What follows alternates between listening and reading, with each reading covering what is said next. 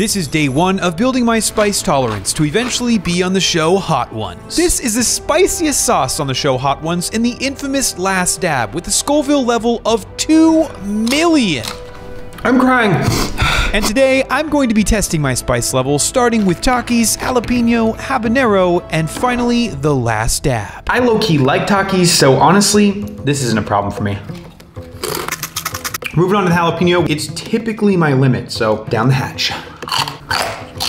Not bad. The habanero is at 150 to 300,000 Scoville level, which is more than 15 times the jalapeno. This might be painful. Mmm, kind of sweet. All right, okay. It's hot, it's hot. Oh, good Lord. Oh my gosh! The last dab. Pray for my butthole. Here we go. oh gosh! Comment down below what I should try next.